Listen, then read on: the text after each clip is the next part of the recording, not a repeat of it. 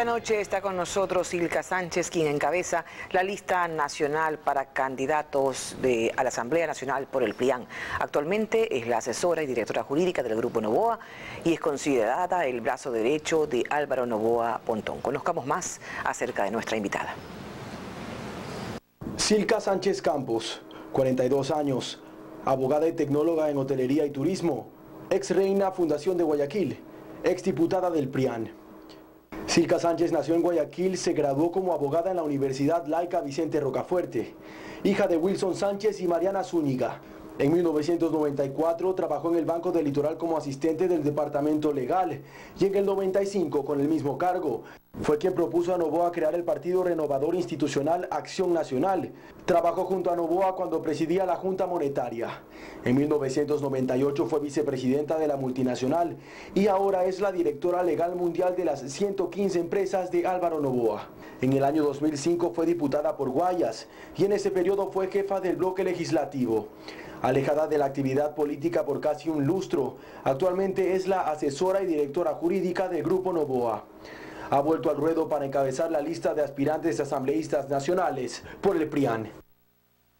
Gracias por estar con nosotros, doctora Sánchez. Ya estuvo usted en la Asamblea cuando fue diputada y ahora intenta volver eh, cuando algunos de sus coidearios, como Vicente Tallano y Vladimir Vargas, ya no están tal vez por la voluntad de su líder máximo del PRIAN, Álvaro Novoa. ¿No teme seguir la suerte que ellos han tenido? Definitivamente no. Ellos, en el caso de Vladimir Vargas, fue expulsado del partido porque él apoyó la ley de comunicación. Nosotros como partido PRIAN hemos sido claros que siempre vamos a estar por el respeto a los derechos fundamentales, a los derechos humanos, a los derechos de, comunicación, a los derechos de libre empresa. ¿Y en el caso de Vicente Tallano? Vicente Tallano se desafilió del PRIAN y lamentablemente pues eso para nosotros fue una traición. Él fue candidato a vicepresidente de Aunque fueron unos epítetos muy duros del abogado Novoa contra él. Claro, porque él, él lo hizo en el mundo político, fue el abogado Novoa pues quien lo invitó a formar parte del PRIAN, fue su binomio presidencial y realmente se sintió muy traicionado el abogado Novoa cuando él se desafilió del PRIAN.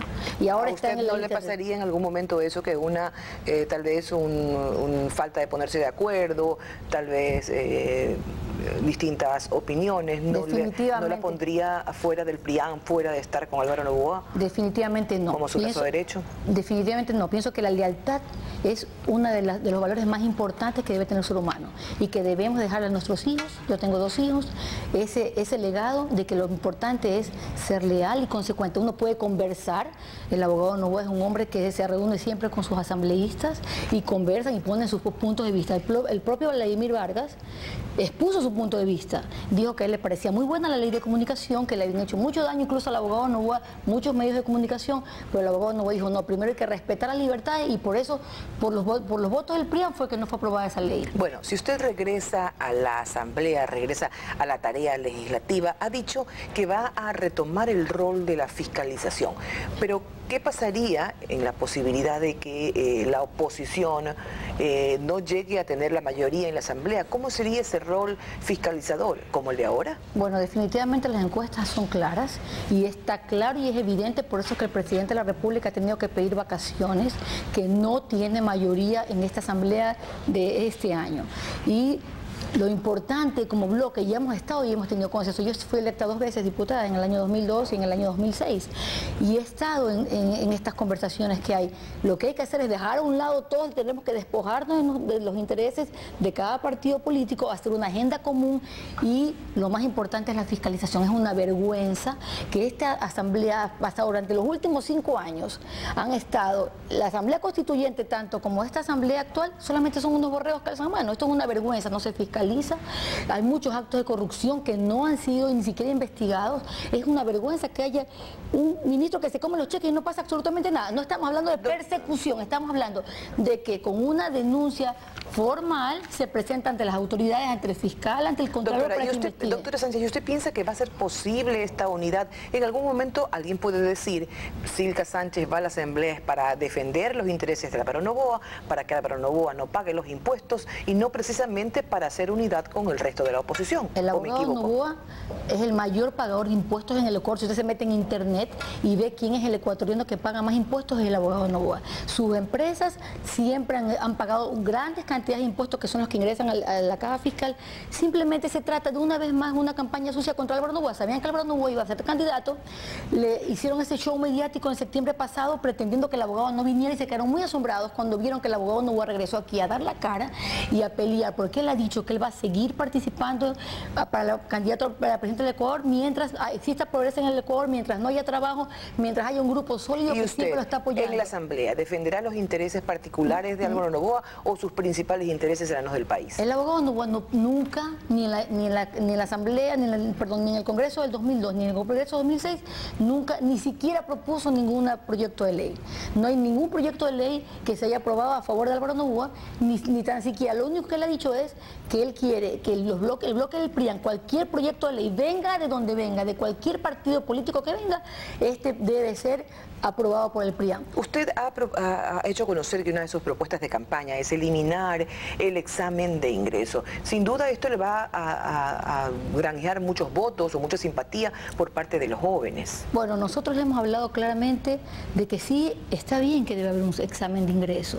Lo que no debe ser es un examen de ingreso antitécnico como hay en este momento alrededor de 150 mil alumnos en los últimos dos años se han quedado sin poder estudiar. Yo tengo un hijo de 21 años y tengo contactos con muchos jóvenes que realmente están tan desvalorizados. Usted le pregunta, este, ¿estás en la universidad?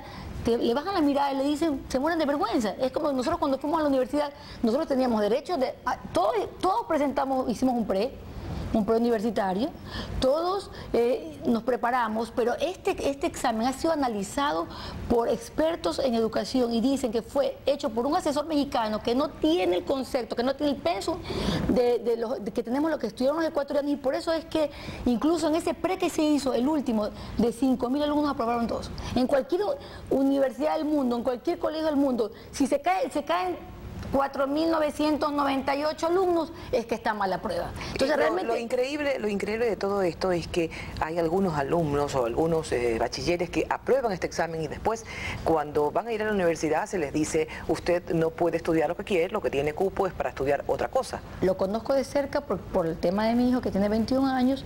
Hay alumnos que han aprobado, por ejemplo, para psicología. Están al mismo tiempo, entran, aprueban el test no el preuniversitario que estaba hablando, sino la prueba, el examen de ingreso, y al mismo, pero al mismo tiempo están otras personas también al mismo tiempo pues haciendo el mismo test.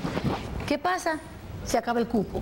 ¿Y qué le dice? ¿Sabe que ya no estudie psicología, estudie economía? Ya no estudie psicología, estudie medicina. Ni siquiera tienen derecho a decidir. Y esto es una pobreza intelectual. Por eso, esto de la educación gratuita es la gran farsa de la revolución ciudadana. Sí, es verdad, es cierto.